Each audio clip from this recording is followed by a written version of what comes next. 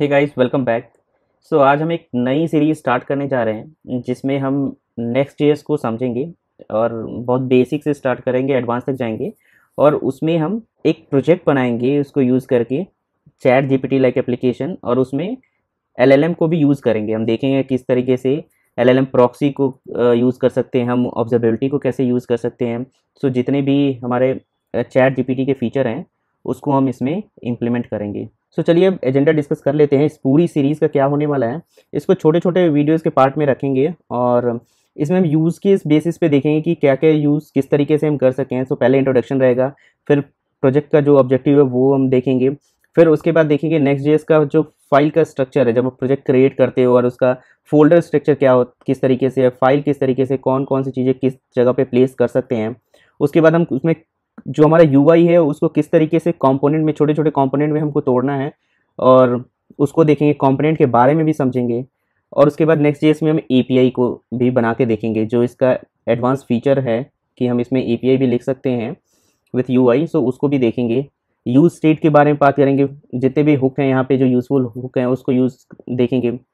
Use state use effect use call back React memo use memo फिर LLM का हम integration देखेंगे जैसे कि चैट जीपीटी से हम कुछ भी टाइप करते हैं वो कैसे रिस्पॉन्स लेके आता है और इसको बाइंड करता है वो सारा कुछ देखेंगे।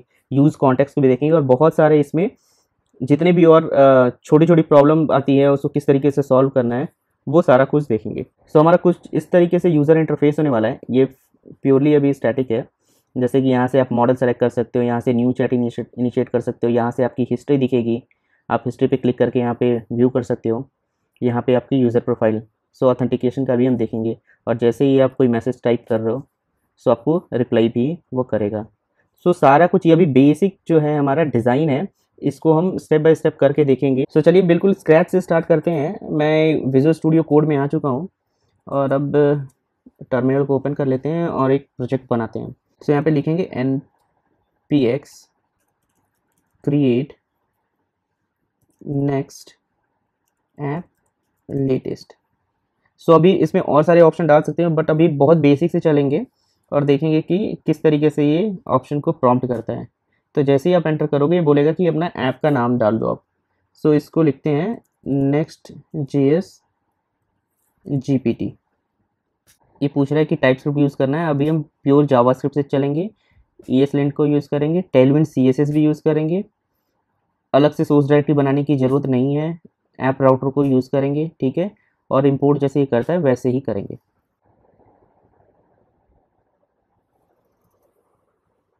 सो so, जितनी भी डिपेंडेंसी है वो डाउनलोड हो गई है। अभी क्या करते हैं हम जो डायरेक्टरी क्रिएटेड है एप्लीकेशन उसमें जाते हैं। ठीक है अभी हम आ चुके हैं अपनी एप्लीकेशन की डायरेक्टरी में next J S G P T अब इसमें क्या करेंगे इसको पहले रन करके देखते हैं ऐसे ही। N P M run dev ये थ्री थाउज़ेंड टू पे चल रहा है। तो आप देखोगे आपके सामने इस तरीके से कुछ नेक्स्ट जे का जो डिफ़ॉल्ट है पेज स्टार्ट होगा। सो अभी क्या करेंगे, इसको पूरा हम क्लीन अप करके और फिर अपना उसमें प्रोजेक्ट को ऐड करेंगे। सो एक बार देख लेते हैं क्या क्या इसने फ़ोल्डर बनाए हैं। सो यहाँ से जो इसका मेन फोल्डर होता है ऐप का फोल्डर होता है, ठीक है? ये क्या करता है पेज बेसिस पे राउटिंग करता है ये। जैसे हमारा पहले हम राउटर लिखते थे, वैसा राउटर लिखने की ज़रूरत नहीं है।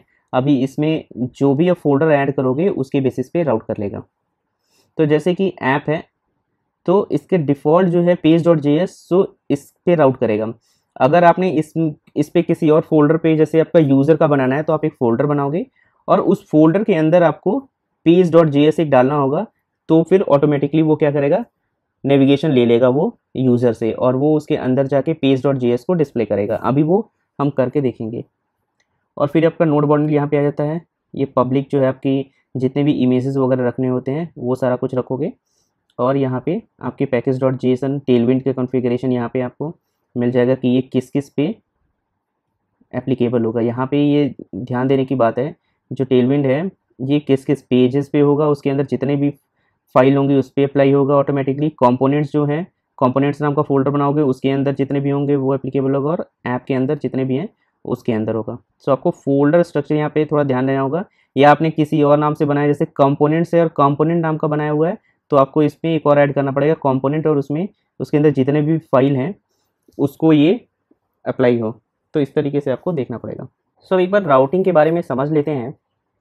तो सबसे पहले अभी जैसे हमारा ये व्यू दिख रहा है, इसमें थोड़ी क्लीन अप एक्टिविटी कर लेते हैं, क्योंकि हमें फ्रेश से स्टार्ट करना सही रहेगा।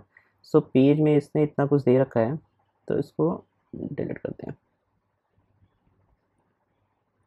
यहाँ हमने डिलीट कर दिया। सो अभी आपका पूरा ब्लैंक आ गया। तो जब भी आपको कोई नेविगेशन बनाना है सो इसमें सिंपली क्या करना होता है, आपको ऐप के अंदर फ़ोल्डर बनाना होगा।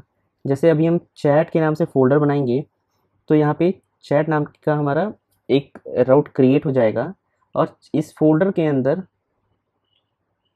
हमें पेज डॉट जी ये होना कंपलसरी है, जिसको वो वहाँ पे डिस्प्ले करता है। अभी हम आर एफ़ से रिएक्ट फ़ंक्शन करेंगे और यहाँ पे हाई लिख देते हैं। सब जैसे ही आप इस पर चैट पे नेविगेट करोगे ये आपके पास अवेलेबल होगा और कुछ करने की ज़रूरत नहीं है। बस आपको ऐप के अंदर फोल्डर बनाना है उसके अंदर पेज डॉट जी बनाना है। ऐसे ही आप मल्टीपल क्रिएट कर सकते हो। सो so, अब हम इसको इसके नेविगेशन को देख लेते हैं। सो so, हम यहाँ पे एक लिखेंगे वेलकम टू कोडिंग का कीड़ा समथिंग एंड देन एक एच लगाते हैं नेविगेट करने के लिए। हमने बोला कि चैट पे जाना है हमें और यहाँ पे हमने लिख दिया गो टू चैट इस तरीके से हमने दे दिया है। अब एक बार मेन पेज पे आते हैं। यहाँ पे कुछ इस तरीके से आपको दिखेगा। यहाँ पे जैसे ही आप क्लिक करोगे ये नेविगेट कर देगा।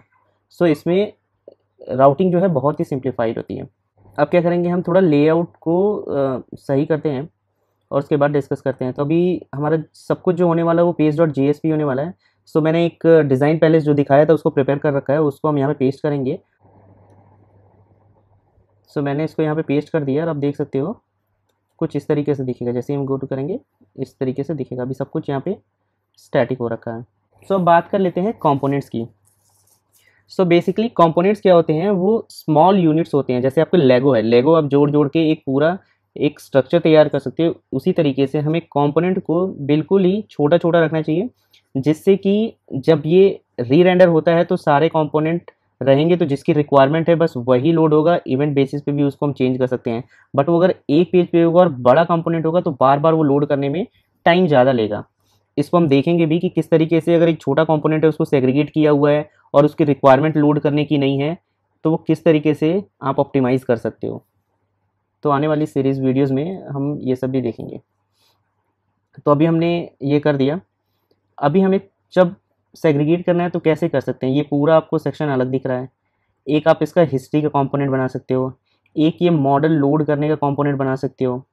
एक आप यूज़र जो है, इसके लिए कंपोनेंट बना सकते हो, जो कि बाद में हम देखेंगे किस तरीके से ऑथेंटिकेशन आप कर सकते हो। ये जितना भी यहाँ पे मैसेज डिस्प्ले होना है इसका एक अलग से कंपोनेंट बना सकते हो देन इनपुट का कंपोनेंट बना सकते हो। तो इन सभी को एक कंपोनेंट में चलिए अभी तोड़ते हैं। तो यहाँ पे ये सारा पेज जो है अभी एक साथ में है। सो so, कंपोनेंट बनाने के लिए कॉम्पोनेंट्स नाम का फोल्डर ही रखते हैं। आप कुछ भी नाम दे सकते हो बट जनरली कॉम्पोनेंट्स ही देते हैं बिकॉज़ ये टेलविंड में भी इस तरीके से कॉन्फ़िगर हो रखा है। तो अगर आपको टेलविंड स्टाइल स्टाइलिंग उस पर अप्लाई करना है तो आपको इस तरीके से देना पड़ेगा अदरवाइज़ दोनों जगह नाम को चेंज करना पड़ेगा एक और आपको ऐड करना पड़ेगा। उसमें कोई इशू नहीं है आप कर सकते हो। फिर हम एक ऐड करते हैं। History component history dot G S so अभी छोटे छोटे पार्ट में सबको हटाते जाते हैं। सो so, हिस्ट्री के लिए हमारे पास यहाँ से ये सेक्शन है इसको हम लेंगे। दिस टू दिस और इसको कट करेंगे। यहाँ पे हम अपना कंपोनेंट बनाते हैं same R F C React function component और यहाँ पे इसको पेस्ट कर देंगे। सो अभी हम कंपोनेंट को डिवाइड कर रहे हैं। यहाँ पे हम क्या करेंगे? जो कंपोनेंट है, उसको लिखेंगे। हिस्ट्री कंपोनेंट हिस्ट्री जैसे आ गया। ये आपका यहाँ पे ऊपर, आप देखोगे तो भी ऐड भी हो जाता है। इंपोर्ट हो जाता है। ठीक है? सो चलिए अब देखते हैं ये किस तरीके से अभी दिखता है। क्या हम हिस्ट्री कंपोनेंट से रूट कर रहे हैं डायरेक्टली सो हम यहाँ पे सो मैंने रिएक्ट का प्लगइन डाल रखा है, आप भी डाल सकते हो, जिसके बाद यहाँ पे आपको दो ऑप्शन यहाँ दिखने लगेंगे आपके डेवलपर कंसोल में, और यहाँ से हम देखेंगे प्रोफाइलर को। सो प्रोफाइलर बेसिकली रिकॉर्ड कर सकता है कि कौन कौन सा आपका कंपोनेंट कब लॉन्च हो रहा है कौन सा ज़्यादा टाइम ले रहा है जिसको आप बाद में ऑप्टिमाइज़ कर सकते हैं। तो अभी हम रिकॉर्ड कर रहे हैं और कुछ उस पर एक्शन करते हैं। ठीक है अभी स्टॉप कर सकते हैं। तो यहाँ पे आप देख सकते हो दो कंपोनेंट दिख रहे हैं आपको। एक जो रूट है होम का और दूसरा जो है जो हमने हिस्ट्री के लिए कंपोनेंट बनाया था वो यहाँ पे दिख रहा है।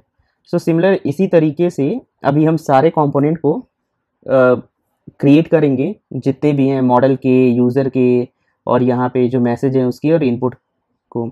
तो इन सभी को हम क्रिएट करेंगे। सो so, टाइम को सेव करने के लिए मैं इसको स्किप कर रहा हूँ और इसका फाइनल रिज़ल्ट देखेंगे जब मैं ये कॉम्पोनेंट को सेग्रीगेट कर दूँगा। सो so, अभी क्या है आप देख सो so, अभी आप देख सकते हो जितने भी रिक्वायर्ड कंपोनेंट्स थे मैंने वो क्रिएट कर दिए। Chat input chat message history जो हमने इसके पहले क्रिएट किया था मॉडल एंड यूज़र मेन्यू और इसको मैंने जो हमारा मेन चैट का पेज है उसमें सारे कंपोनेंट्स को ऐड कर दिया यहाँ पे history user model and user menu so अब एक बार यहाँ पे देखते हैं किस तरीके से डिस्प्ले हो रहा है। आ, क्योंकि ये पूरा पेज अभी जो है कंपोनेंट से बन रहा है। सो एक बार इंस्पेक्ट करेंगे और यहाँ पे जाएँगे अभी इस बार कंपोनेंट्स देखते हैं। और यहाँ पे जब आप नीचे आओगे तो देखोगे होम के अंडर इस तरीके से हिस्ट्री मॉडल आपका ऊपर हाईलाइट भी हो रहा है user menu chat message and chat input इस तरीके से आपको दिख रहा है। तो अभी ये सारे जो हैं कॉम्पोनेंट से लोड हो रहा है। अगर आप रिकॉर्डिंग की बात करोगे जब प्रोफाइलर में जाके हम रिकॉर्ड भी करते हैं। तो हमने परफॉर्म किया कुछ एक्शन ठीक है? बिकॉज़ ये सारे कंपोनेंट स्टैटिक हैं और उसका स्टेट चेंज नहीं हो रहा है तो री रेंडर नहीं हो रहा है तो कुछ इम्पैक्ट नहीं आएगा अभी।